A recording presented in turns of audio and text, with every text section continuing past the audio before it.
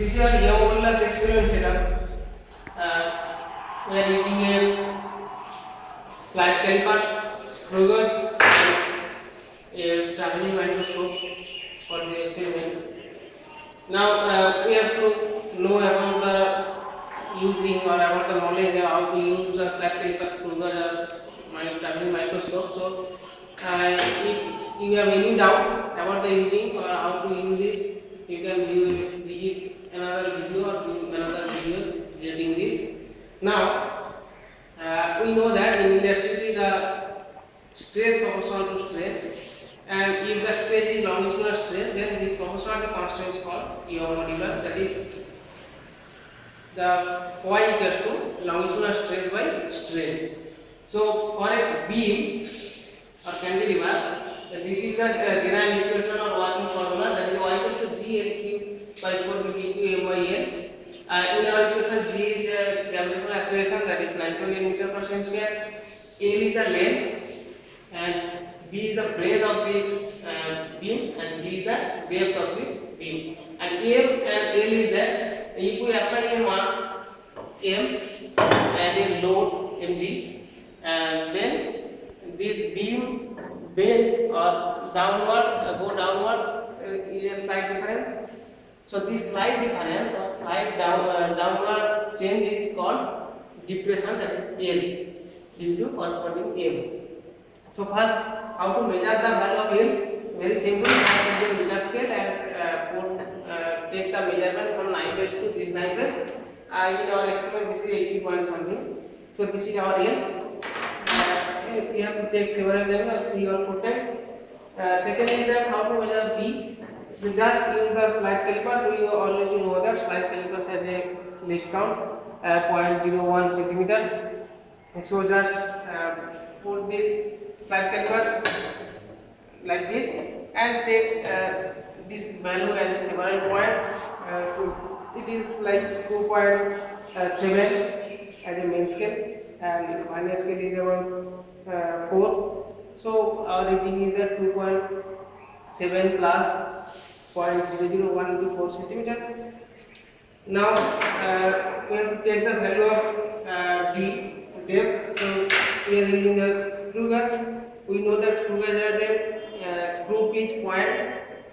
001 centimeter so just put the screw gauge like this and take the main scale reading that is 4 millimeter that is 0.4 centimeter and as uh, circular scale is about 52 so our circular reading should be 50 into 0.001 centimeter so main total reading is 0.4 plus 50 into 0.001 centimeter and take in mind this is DQ so if we uh, make error 0.1 or then error should total error should be changed as a 3 times more that is 3 into 0.1 so be careful and take several readings means uh, you can take uh, 7 8 9 10 times okay and finally we are we can use load so first we are writing this as a m by l separately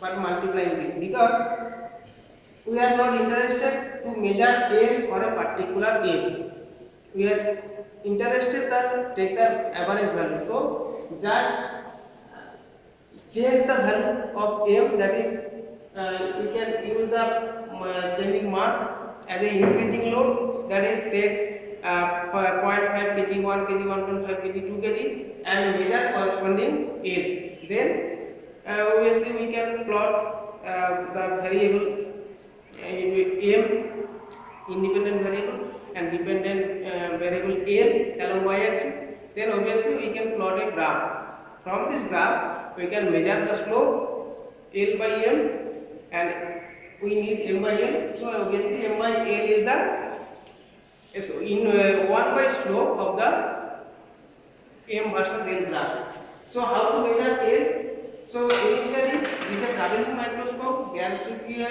me- mechanism if you have any doubt about the using this then obviously uh, view another video how to use this so now I think you are all familiar with this uh, traveling microscope So let uh, this a point is uh, placed at the middle, and we are focusing this uh, traveling microscope uh, to a tip point. Means direct crosswire. Yeah, our uh, microscope crosswire uh, should be like this. Means this is the this is the tip of this instrument, and this is the crosswire. So crosswire should be like this. So take this reading uh, from the vernier scale, main scale, and if we use, use a low, go downward. Then just tight this uh, back screw and uh, move this uh, telescope so to downward or our traveling microscope to downward. Okay. So uh, let this is the second position where this point is fixed. So there will be another reading. Suppose the first reading is uh, 2.7 centimeter and second reading is 1.2 centimeter. So obviously the deflection length is 2.7 minus 1.2 centimeter. So again if we change another load, then it can also variation means suppose this is 1 kg and next should be 1.5 kg. Then this should also change to downward and take the value.